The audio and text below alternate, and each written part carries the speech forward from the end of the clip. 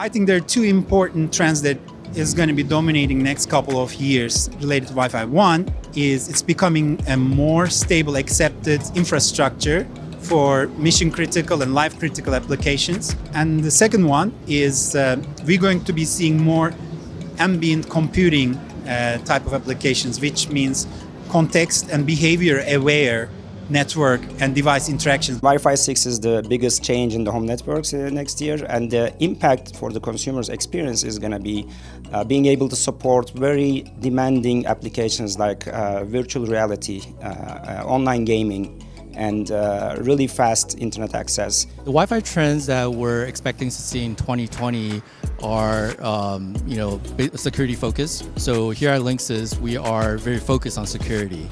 Uh, so we do expect to see WPA3 to take uh, a wider adoption in 2020 and we're also going to be driving that trend. You know, at Boingo Wireless, we're the pioneers of Passpoint technology. We've been pushing that Passpoint technology across all of our venues, and we're going to continue to push that and advance the seamless connectivities that consumers have at airports, stadiums, military bases, and other locations that we serve. I think we're going to see a continuation of a trend that started in 2019 with healthcare. I think we are at an amazing cross section of Wi Fi and healthcare with what we're wearing uh, on our wrists to what eventually the technology will be sensing in our homes. So I think it's going to bring endless possibilities in the healthcare space.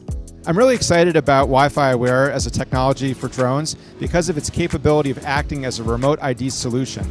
This is necessary for the safety and security of the airspace. In 2020, the trends we're going to see are a lot more Wi Fi 6 devices, both in the core gateway, the core AP, and also in the extenders in the home.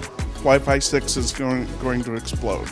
We're forecasting about uh, quadruple or even pentuple um, 5x growth in our Wi-Fi 6 shipments this year. So um, we're going to continue to, to see that trend in clients as well as APs. I think uh, the other trend we'll see is the uh, advancement of uh, Wi-Fi 6E uh, recently announced and, and, branded. We're really excited for that as well. The big Wi-Fi trends in 2020, clearly on the technology dimension is uh, we'll be seeing a lot of 802.11ax or Wi-Fi 6 launches in the year, both from the client side, which is handsets, PCs, and many other things that would be talking to the home infrastructure as well as the enterprise infrastructure, which would be all Wi-Fi 6 access points. So that's the big technological trend.